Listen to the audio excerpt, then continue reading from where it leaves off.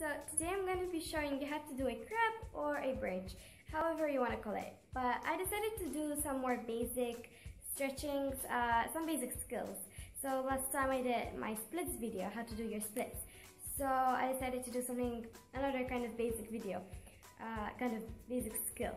So I decided to do how to do a crab and yeah, I think that splits and then crabs are kind of one of like the most basic um, skills and something that you need to have, uh, something that is kind of you know very useful for other uh, skills that you want to achieve that are higher skills. These simple and basic skills will get you there. So yeah, uh, without further ado, let's just get on with the video. So we're gonna start off with a little warm up.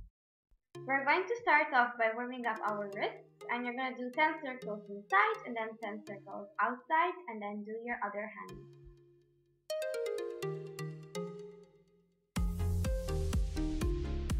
And then do it with both hands.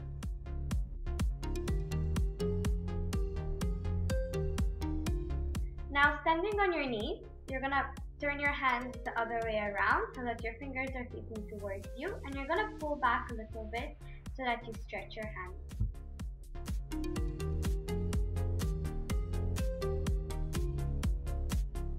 And now turn your hands over so that your palms are facing upwards and do this slowly.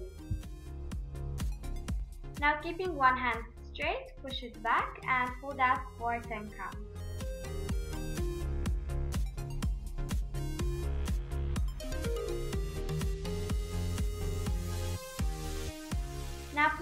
Hands behind your head, you're gonna get your elbow and then just push it down with your other hand. Uh, sorry if this looks a little bit scary, but my shoulders are naturally flexible, so they do go down a lot. Now we're gonna do these arm rotations. So rotate your hand back for 10 times and then forward, and then change your hand, and then do it with both hands like this.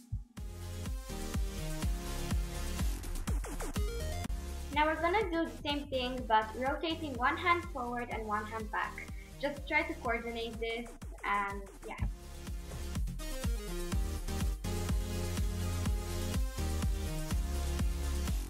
Now also we're gonna rotate our shoulders back and then forward 10 times.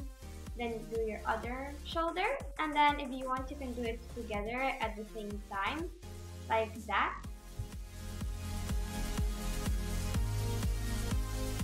Again, you can also try doing one back and one forward.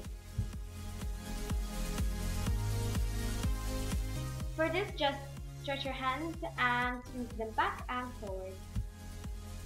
And try to catch your hands behind if you can.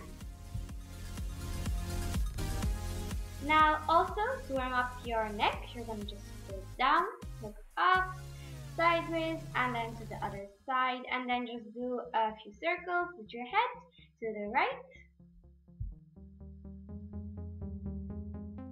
and to the left.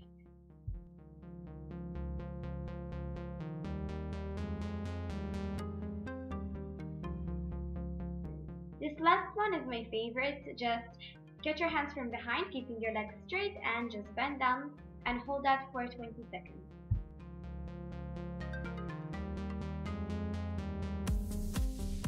Now to warm up our back a little bit, we're going to go into a seal stretch, keeping your legs apart and you can have someone help you push your shoulders back and the tip here is to keep your hands as close to your body as possible.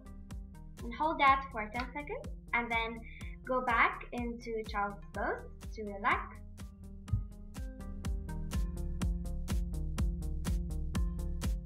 Then again, slide out into seal, but this time bend your knee and hold that for another 10 seconds.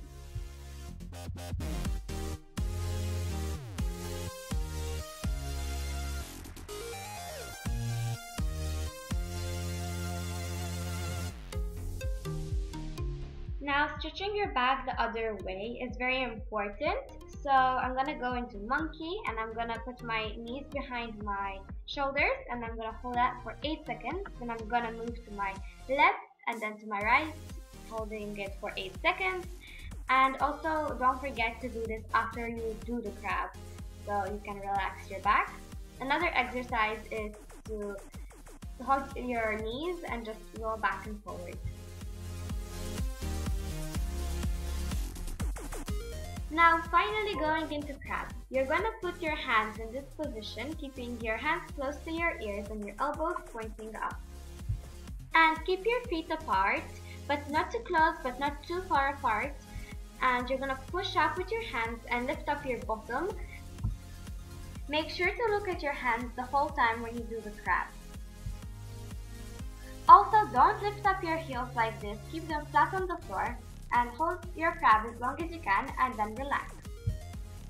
If you finally manage to do your crab and you want to stretch your back a bit more, the aim here will be to get as close to your feet as possible and maybe even grab your feet.